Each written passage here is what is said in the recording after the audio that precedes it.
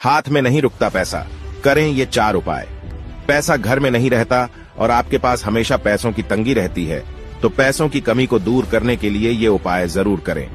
एक, घर का ईशान कोण को पूजा घर बनाएँ और भूल कर भी इसे गंदा न करें। दो, घर के अंदर कांटे या दूध देने वाले पेड़ नहीं लगाएँ, ये धन के लिए शुभ नहीं होते हैं। तीसरा, बाथरूम के दरवाजे खुले न रखें, इसका आपकी आर्थिक स्थिति पर असर होता है। चौथा घर की झाड़ू को हमेशा छिपा कर रखें।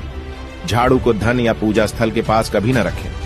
पांचवा, यदि काफ़ी कोशिशों के बाद भी आर्थिक परेशानियाँ खत्म नहीं हो रही तो अपने घर की उत्तर पूर्व दिशा में नमक रखें और समय समय पर बदलते रहें। इसको सेव कर लें। ऐसे ही और पोस्ट्स के लिए हमारे पेज को फॉलो करें। हाथ में